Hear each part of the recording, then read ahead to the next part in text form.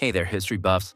Ever feel like your doodles were a little ahead of their time? Well, hold your prehistoric paintbrush because archaeologists in sunny Spain just stumbled upon something that'll make your stick figures look positively modern. Picture this Marbella, Spain. Beautiful beaches, delicious tapas, and wait for it, the potential oldest rock art ever discovered. That's right, we're talking about engravings on a chunky stone that might just rewrite the entire art history textbook. Now, you might be thinking, engravings, big deal. My toddler does that on the fridge. But these aren't your average crayon scribbles. We're talking about geometric patterns, possibly over 200,000 years old. These ancient artists were apparently getting their abstract on way before anyone thought humans were even capable of it.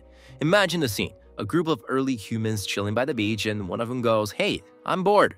Let's carve some shapes into this rock. And boom, art history is made.